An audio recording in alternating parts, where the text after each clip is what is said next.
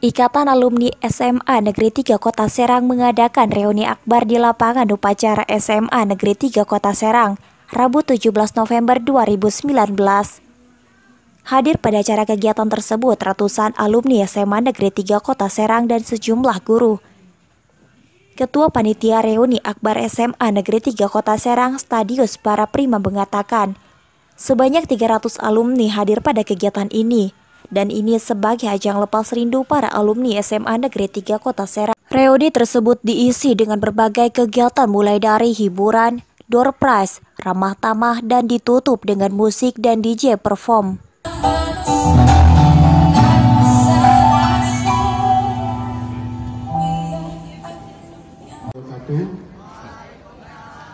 Salam damai sejahtera untuk kita semua. Om Swastiastu, Namo Buddhaya.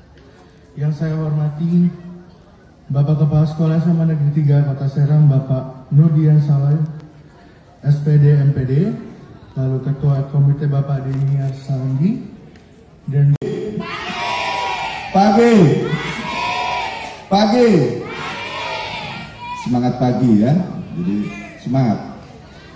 Dan seperti biasa ya sekolah kita ya kalau Bapak mengucapkan SMA Negeri tiga kota Serang, tolong dijawab juara ya.